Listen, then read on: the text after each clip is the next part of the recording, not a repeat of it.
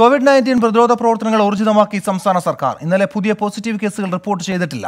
സംസ്ഥാനത്ത് മൂവായിരത്തി മുന്നൂറ്റി പതിമൂന്ന് പേരാണ് നിരീക്ഷണത്തിലുള്ളത്. കോവിഡിനെതിരെ സംസ്ഥാനത്ത് അതീവ ജാഗ്രത തുടരുകയാണ്. വിവിധ ജില്ലകളിലായി മൂവായിരത്തി മുന്നൂറ്റി പതിമൂന്ന് പേരാണ് നിരീക്ഷണത്തിലുള്ളത്. ഇവരിൽ മൂവായിരത്തി ഇരുപത് പേർ വീടുകളിലും ഇരുന്നൂറ്റി തൊണ്ണൂറ്റിമൂന്ന് പേർ ആശുപത്രികളിലും നിരീക്ഷണത്തിലാണ്. ആയിരത്തി ഒരുന്നൂറ്റി എഴുപത്തിയൊൻപത് സാമ്പിളുകൾ പരിശോധനയ്ക്ക് അയച്ചിട്ടുണ്ട്. ഇതിൽ എണ്ണൂറ്റി എൺപത്തിയൊൻപത് സാമ്പിളുകളുടെ പരിശോധനാഫലം നെഗറ്റീവാണ്. ഇരുന്നൂറ്റി പതിമൂന്ന് സാമ്പിളുകളുടെ ഫലം ലഭിക്കാനുണ്ട്. പുതിയ പോസിറ്റീവ് കേസുകൾ റിപ്പോർട്ട് ചെയ്തിട്ടില്ല. വൈറസ് ബാധ സ്ഥിരീകരിച്ച കോട്ടയത്തെ വൃദ്ധ ദമ്പതികളുടെ ആരോഗ്യനില നിലവിൽ തൃപ്തികരമാണ്. എന്നാൽ ഹൈറിസ്ക് തുടരുകയാണ്.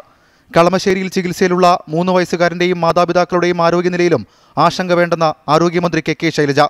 എണ്ണൂറ്റി എൺപത്തി ഒമ്പത് സാമ്പിളുകളുടെ റിസൾട്ട് നമുക്ക് കിട്ടിയിട്ടുണ്ട്.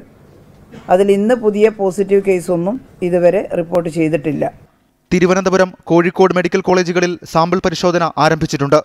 Public health lab Thrissur medical college Rajiv Gandhi biotechnology institute എന്നിവിടങ്ങളിൽ പരിശോധനയ്ക്കായി കേന്ദ്രത്തോട് അനുമതി തേടി.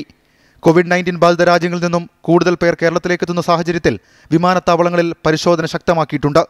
ട്വന്റി തിരുവനന്തപുരം.